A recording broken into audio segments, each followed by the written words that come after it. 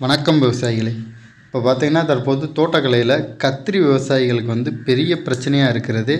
இந்த காய் துளைப்பானும் ப்ளஸ் வந்து குருத்துப்புழு அதாவது கொண்டைப்புழு இது ரெண்டும் தான் பெரிய பிரச்சனையாக இருக்குது இதுக்கு வந்து அவங்க பலவிதமான மருந்து அடித்தும் கேட்கல என்ன மருந்து என்ன ஸ்டேஜில் கொடுக்கணும் எப்படி கொடுக்கணும் அப்படின்னு தெரியாமல் அவங்க ஒரு ஃப்ளோவில் அப்படியே மருந்து அடிச்சுக்கிட்டே வர்றாங்க. லோ காஸ்ட் மருந்து ஹை காஸ்ட் மருந்து அப்படியே மாற்றி மாற்றி அடிக்கிறாங்க. ஒரு டயத்துக்கு மூணு மருந்து நாலு மருந்து சேர்த்து ஒரே டயத்தில் கொடுக்குறாங்க. எல்லாமே புழு மருந்து தான் ஆனால் அவ்வளோ கொடுத்துமே அவங்களுக்கு வந்து சரியான அந்த கண்ட்ரோல் கிடைக்கல. அதுக்கு என்ன காரணம் அப்படிங்கிற பற்றி பார்க்க போகிறோம் அடுத்தது வந்து மருந்து வந்து எப்போ அடிக்கணும்? கொண்டைப்புழுக்கு வந்து எப்படி மருந்து அடிக்கணும்?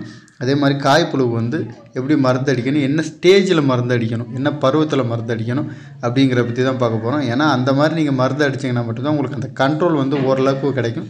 மினிமம் வந்து எயிட்டி டு 90% பர்சன்டேஜ் வந்து ஓரளவுக்கு நல்லா கண்ட்ரோல் இருக்கும். அதை பற்றி தான் விரிவாக பார்க்க போகிறோம் வீடியோவை ஸ்கிப் பண்ணாமல் கடைசி வரையும் பாருங்கள் நம்ம விவசாய பொக்கிசம் சேனலை சப்ஸ்கிரைப் பண்ணிக்கோங்க. பக்கத்தில் இருக்க பெல் ஐக்கானே கிளிக் பண்ணிக்கோங்க. சரி விவசாயிகளே வாங்க வீடியோக்குள்ளே போகலாம்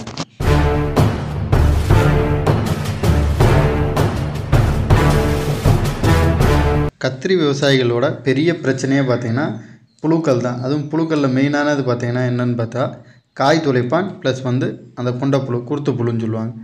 இது ரெண்டோட பிரச்சனை தான் அதிகமாக இருக்கும் முதல்ல வந்து கத்திரி செடி வச்சு துளிர் எடுக்க ஆரம்பித்தோடனே கொஞ்சம் கொஞ்ச நாளில் பார்த்தீங்கன்னா அப்படியே அந்த குருத்து ஃபுல்லாக அந்த நுனிப்பகுதி ஃபுல்லாக வாடி வாடி அப்படியே வதங்கி இருக்கும். அதை உடச்சி பார்த்தீங்கன்னா உள்ளே புழு இருக்கும். இதுக்கு வந்து எப்படி மருந்து அடிக்கணும் அப்படிங்கிற பற்றி தான் ஃபஸ்ட்டு பார்க்கணும். அதுக்கப்புறம் என்ன மருந்து அடிக்கிறது அப்படிங்கிற பற்றி பார்ப்போம். இதுக்கு வந்து மெயினாக வந்து அந்த வாடி இருக்க கொண்டையை ஃபுல்லாக உடைச்சாதான் அதுக்கப்புறம் நீங்கள் அடிக்கிற மருந்தே உள்ளே போகும் அந்த புழு சாகும். நீங்கள் போய் கடைகளில் போய் மருந்து கேட்டோடனே நீங்கள் அப்படியே அடிங்க அப்படின்னு கடைக்காரங்க சொல்லிடுறாங்க.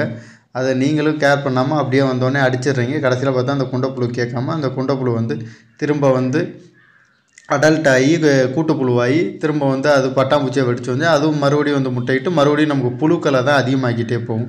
அதுக்கு நீங்கள் கரெக்டாக வந்து கண்ட்ரோல் வேணும் அப்படின்னு நினச்சிங்கன்னா நீங்கள் இந்த மாதிரி பண்ணிங்கன்னா தான் உங்களுக்கு கண்ட்ரோல் கிடைக்கும். அந்த கொண்டையை ஃபுல்லாக எங்கெங்கே வாடி இருக்கோ அதை ஃபுல்லாக உடச்சிருங்க.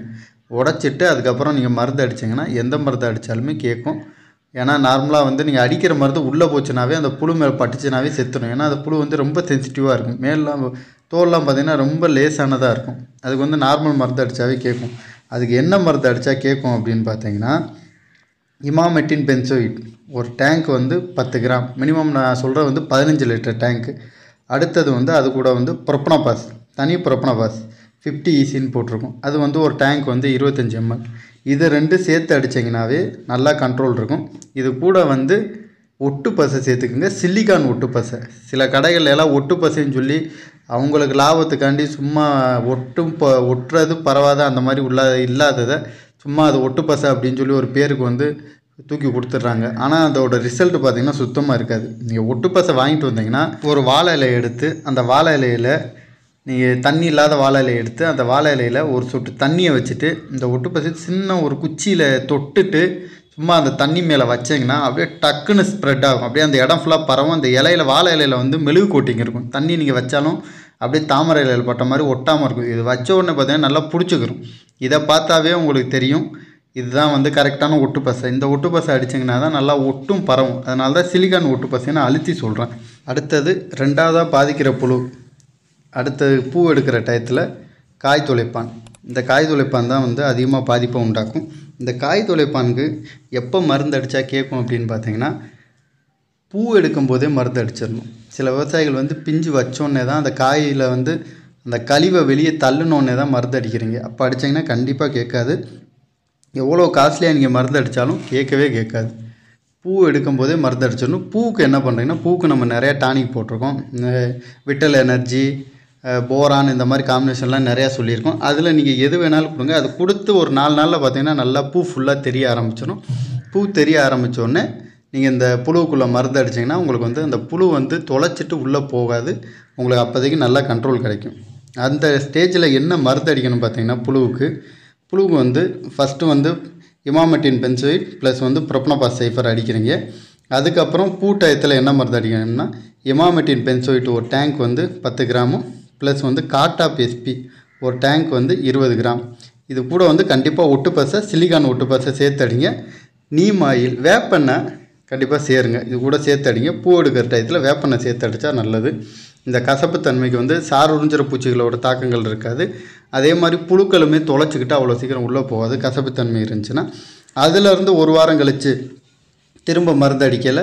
இமாமெட்டின் பென்சோயிட் வந்து ஒரு டேங்க் வந்து பத்து கிராம் கூட வந்து சைபர் மெத்ரின் இருபத்தஞ்சி பர்சன்டேஜ் ஈஸின்னு இருக்கும். அது வந்து ஒரு டேங்க் வந்து இருபத்தஞ்சி எம்எல் இந்த காம்பினேஷனில் கொடுங்க. இந்த காம்பினேஷனில் கொடுத்தீங்கன்னா திரும்ப வந்து அந்த புழுக்கள் வந்து மறுபடியும் வந்து தொலைச்சிட்டு உள்ளே போகாமல் நல்லா கண்ட்ரோல் இருக்கும்.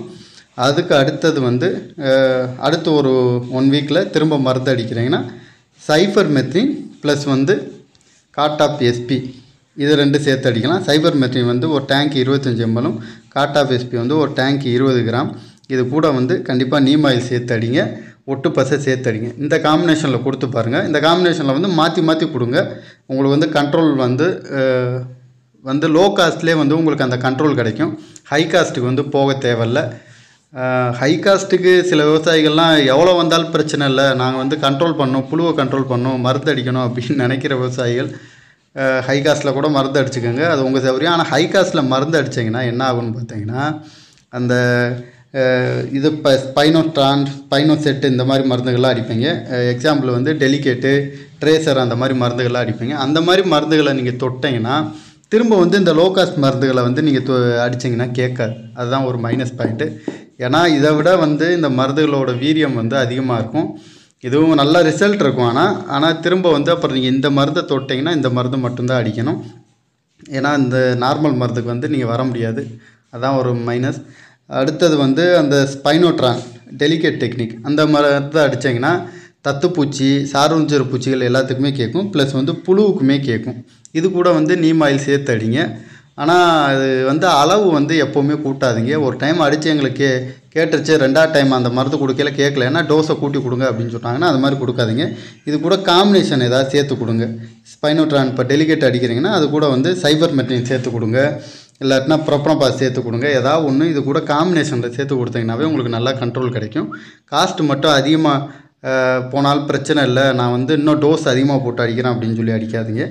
அதுக்கப்புறம் ஸ்பைனோ ஸ்பைனோ செட் ஸ்பைனோ செட்டு தான் ட்ரேசர் இந்த ஸ்பைனோ செட்டுங்கிறது வந்து புழுவுக்கு வந்து நல்லா கேட்கும். காய்ப்புழு எந்த காய்ப்புழுக்காக இருந்தாலும் நல்லா கேட்கும். ஆனால் வந்து இது செடியெலாம் மரத்து போகாது. ஆனால் இது வந்து அடித்தீங்கன்னா திரும்ப வந்து இந்த லைன்லேயே தான் போகிற மாதிரி இருக்கும். இது வந்து ஒரு டேங்க் வந்து ஏழரை எம்எல் வரைக்கும் போட்டு அடிக்கலாம். ஸ்பைனோட்ரான் வந்து ஒரு டேங்க் வந்து பத்து எம்எல் வரைக்கும் போட்டு அடிக்கலாம்.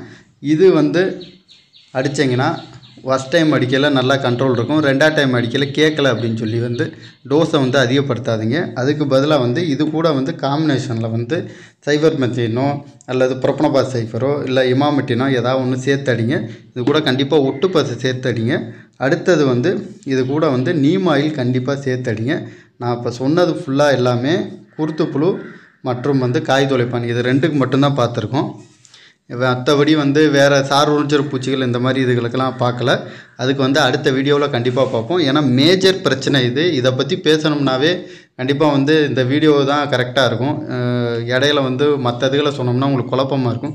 அதுக்காண்டி தான் ஃபுல் அண்ட் ஃபுல் வந்து இந்த காய் துளைப்பான் மற்றும் தந்தது துளைப்பான் இதுக்கு மட்டும்தான் மெயினாக சொல்லணும் அப்படிங்கிறக்காண்டி தான் இந்த வீடியோ வந்து இது பண்ண முடிஞ்சு. அதை பற்றி பேச முடியல. அதை பற்றி அடுத்த வீடியோவில் வந்து கண்டினியூஸாக அதுவும் நோயும் பற்றி ஃபுல்லாக வந்து கத்திரிகளை பற்றி பார்ப்போம்.